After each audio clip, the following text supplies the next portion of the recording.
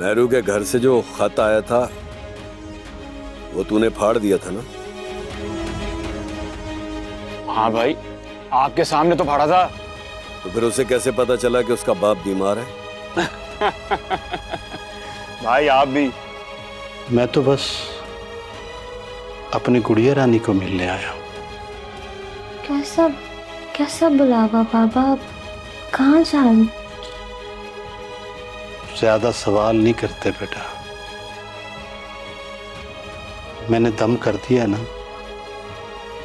सब ठीक हो जाएगा।